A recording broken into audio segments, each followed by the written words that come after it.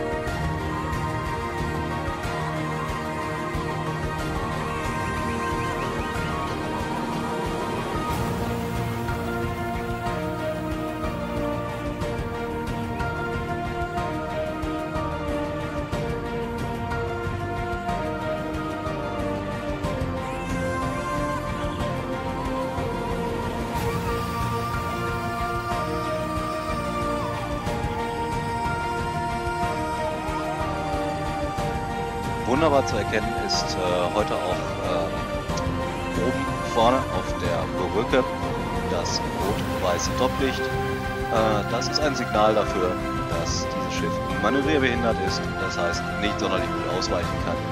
Ähm, ja, das äh, ist bei 300 Meter Länge auf der Elbe durchaus logisch.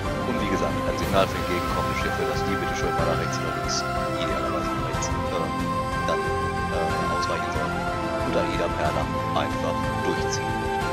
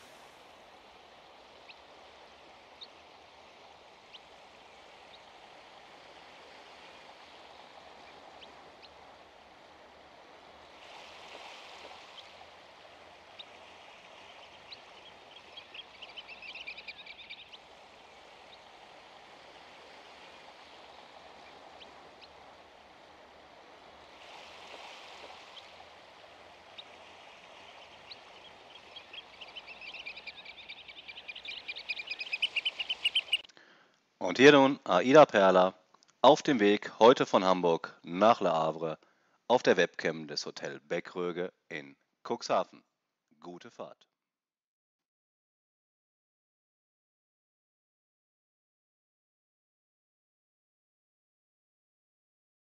Musik